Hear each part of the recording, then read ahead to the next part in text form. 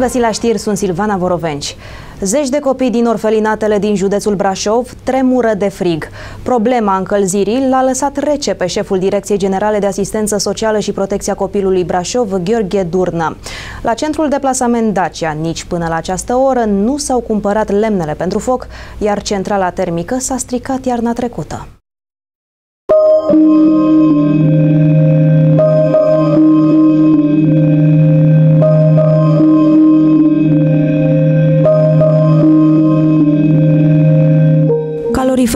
Electric a fost soluția de compromis pe care au găsit-o reprezentanții Direcției pentru Protecția Copilului de la centrul Dacia din Gibert pentru încălzirea camerelor. E adevărat că nu este la fel de cald ca și cu o centrală termică, este foarte adevărat. Însă aceasta vorbim despre o situație limită. S-a stricat o centrală. O centrală care putea să asigure căldura necesară în această perioadă copiilor din centru. Aceștia au între 7 și 15 ani. Nu mai funcționează nimic aici. Păcat de asta, că asta mergea bine. Și ce s-a stricat aia? Spurge. S-o spart ăștia de oțel, uite ăștia toți pe, pe, De sus, de pe sus, de, de sus, de sus, ale de, rândul de sus, rândul de sus, Da. și curge acolo, pe am trecut cam două luni, am mers așa curgând, curgea pe aici. Curgea apa, uite pe aici. Situația persistă de mai multe luni. Gheorghe Durnă se scuza la sfârșitul lunii septembrie că procedura necesară în ceea ce privește încălzirea în centre s-a pus în practică abia la începutul lunii iulie. Motivul este însă incredibil. Durnă susține că pregătirile pentru licitație au fost anevoioase. Am scos la licitație PSA și nu s-a... Când? Când? Păi, cred că d- dacă stăm să gândim, uh, Gândiți, aveți acte pe care scrie data. nu am actele la mine. În ce lună? Probabil că la începutul lunii iulie și au ținut 60 de zile cât... uh, Și până în iulie ce ați făcut? Aprilie, mai, iunie? Cum adică ce am făcut? Păi de ce l-ați demarat procedurile atunci? Am pregătit documentația. În clădirea din spatele meu, la sediul Direcției Generale de Asistență Socială și Protecția Copilului, se iau toate deciziile sau cel puțin ar trebui să se ia deciziile cele mai bune pentru copii. Pot să vă spun că înăuntru în clădire este cald și bine, în timp ce în unele centre micuții îngheață de frig. Consider că s-au dezumanizat, nu mai au pic de sentimente vis-a-vis de a persoanele aflate în nevoi. Nu este normal ca, virgulă, copiii de 7-8 ani să înghețe de frig, nu este normal să le pui viața în pericol încât să stăm cu calorifere electrice și cu un consum de energie foarte mare, fiind pericol să ia foc în orice moment instalația și noi ca și comisie de, de specialitate am făcut toate demersurile necesare, am făcut adrese chiar și către Comisia de Disciplină și în continuare ne menținem poziția că acolo există un adevărat management defectuos.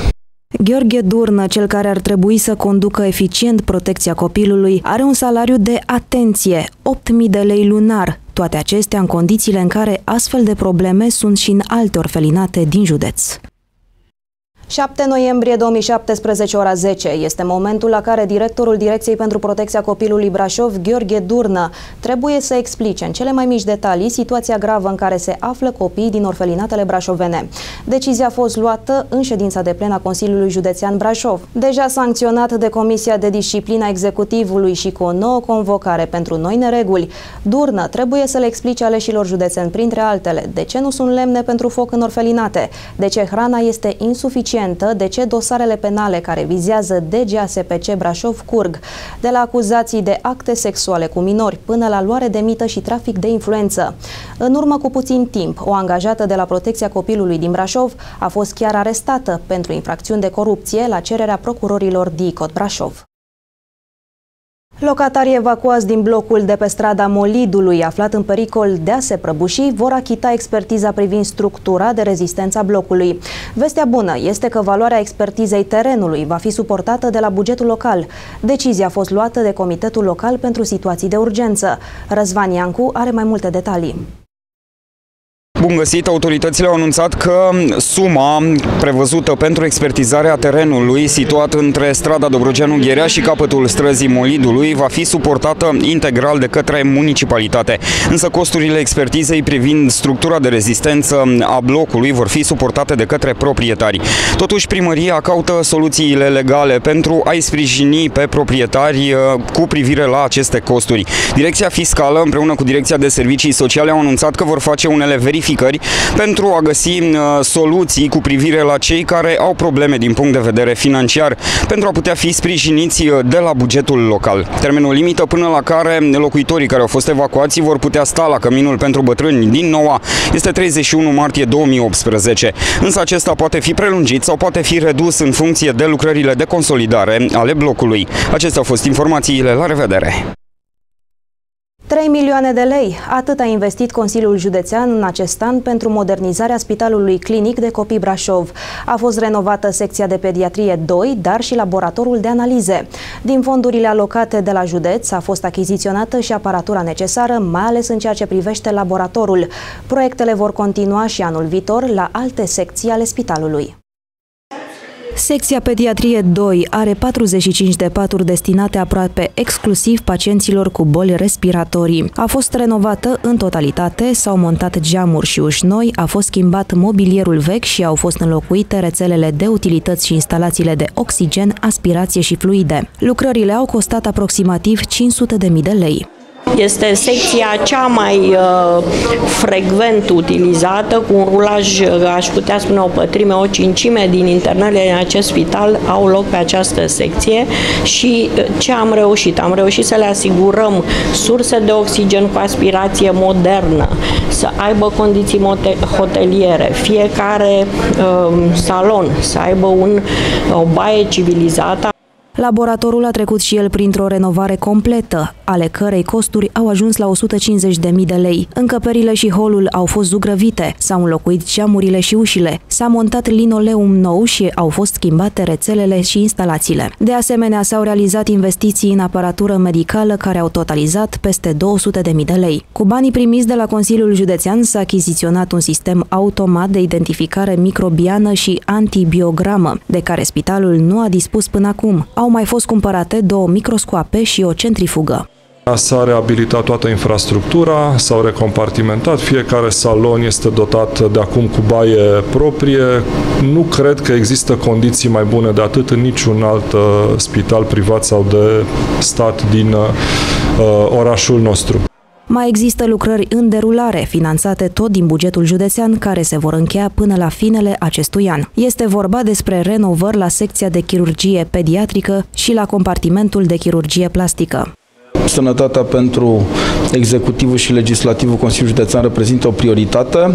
Fiecare dintre instituțiile de sănătate care ne sunt în uh, subordine și cărora le putem aloca bani, am făcut-o și astăzi deja începem să avem rezultate. Mai mult decât atâta, am uh, scris proiecte pe fonduri europene și avem preocupare de a lămuri situația patrimonială a fiecăreia dintre aceste instituții. Pentru anul viitor, conducerea Spitalului Clinic de Copii Brașov, cu sprijinul Consiliului Județean, își propune să depună un proiect privind extinderea și modernizarea unității de primiri urgențe, prin care să atragă fonduri europene. Investiția este estimată la 1,5 milioane de euro. Noi locuri de muncă prin înființarea unui nou parc industrial la Brașov. Inițiativa îi aparține consilierului județean PNL Andy Cadaș, care spune că există deja terenul necesar pentru punerea în practică a proiectului. Andy Cadaș a drept model Parcul Industrial Metrom, unde toate spațiile disponibile sunt valorificate, dar există și noi solicitări din partea agenților economici interesați. Conducerea Consiliului Județean Brașov salută inițiativa, ale cărei detalii au fost puse pe hârtie și urmează să fie analizate adoptate la nivelul executivului.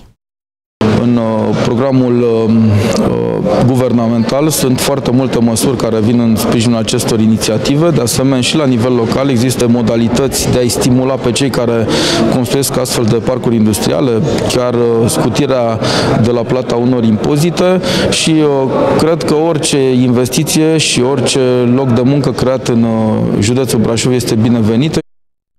Trebuie să recunoaștem că atunci când facem greșeli gramaticale, le comitem de cele mai multe ori în momentul în care conjugăm verbele. Gramatica limbii române este complexă și ne poate da bătăi de cap.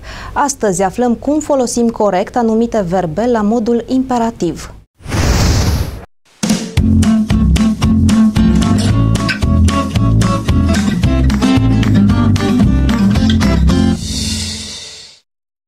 Dragi prieteni, bine v-am regăsit la o cafea bună într-o ambianță foarte plăcută la întâlnirea noastră săptămânală cu rubrica de gramatică de la Brașov TV. Sfatul nostru este același de fiecare dată. Dragă interlocutorule, nu fă greșeli de exprimare atunci când vorbești sau scrii în limba română. Însă poate nu v-ați dat seama, dar chiar eu am făcut ceva mai devreme o greșeală. Haideți să vedem în minutele următoare cum se conjugă corect la modul imperativ, forma negativă, persoana a doua singular, verbul a face. Nu face așa cum ți-a zis el sau nu fă așa cum ți-a zis el? Nu fă așa cum ți-a zis el. Nu face așa cum ți-a zis el sau nu fă așa cum ți-a zis el? Nu face. Nu face așa cum ți-a zis el. La modul imperativ, forma negativă de persoana a doua singular nu se obține de la forma afirmativă, în acest caz fă precedată de nu, ci de la infinitivul verbului a face precedat de adverbul de negație. Situația este similară și în cazul verbului a duce, a se duce. În cadrul limbii române, verbul a face reprezintă o excepție, asta pentru că imperativul afirmativ, persoana a doua singular, nu este identic cu indicativul prezent, persoana a doua sau a treia singular, așa cum se întâmplă în cazul celorlalte verbe. Așadar, dragă vorbitorule de limba română, nu-ți mai face griji atunci când vine vorba de imperativ. Nu te duci afară pentru că plouă nu te du afară pentru că plouă sau nu te duce afară pentru că plouă? Care crezi că e varianta corectă? afară pentru că plouă. Nu te du afară pentru că plouă. Cum vă sună mai bine? Nu te du. Dificultatea apare mai ales pentru că forma afirmativă a verbului diferă de cea negativă. Astfel, dacă vrem să exprimăm un îndemn care conține verbul a face, scriem și spunem fă un tur prin muzeu. În schimb, dacă enunțul ar fi exprimat la forma negativă, verbul devine nu face un tur prin muzeu. Situația este similară și în cazul verbului a duce, a se duce. Prieteni, asta a fost tot pentru astăzi la rubrica noastră de gramatică. Să sperăm că în cazul în care ați fost atent și veți pune în practică ceea ce am învățat împreună astăzi la Brașov TV, nu veți mai avea probleme atunci când veți conjuga verbele la modul imperativ, forma lor negativă. În cazul în care aveți sugestii, ne puteți scrie pe paginile noastre de Facebook brașovtv.com sau știrile Brașov TV. Până data viitoare, toate cele bune! Brașovul devine în acest weekend capitala vinului. Primul târg de vinuri va avea loc la Biblioteca Județeană și va cuprinde inclusiv activități culturale. Organizatorii promit o experiență unică, bineînțeles, combinată cu vinuri de calitate superioară. 19 producători din România și 6 importatori de vinuri vor fi prezenți la Brașov în următoarele 3 zile, la prima ediție a festivalului Vin la Munte. Va fi un târg de vinuri aparte, de la care nu vor lipsi degustările, dar și lansările de carte. Este prima ediție, de 2-3 ani de zile ne gândim la ediție și am luat, am luat hotărârea ca anul ăsta să-l facem. L-am făcut complet diferit și l-am legat de cultură, l-am legat de poezie, l-am legat de toate evenimentele pe care le-a dus acolo. Festivalul Vin la Munte se va desfășura în perioada 27-29 octombrie 2017 la Biblioteca Județeană George Barițiu din Brașov. Nu vor lipsi standurile și lansările de carte, lecturile publice, recitalurile de poezie și expozițiile de tablouri tematice. Știrile Brașov TV au ajuns la final. Nu uitați, toate jurnalele noastre sunt disponibile pe site-ul brașovtv.com și dacă ați surprins imagini sau aveți informații importante, le puteți trimite la adresa știrarond.brașovtv.com. Sunt Silvana Vorovenci, la revedere!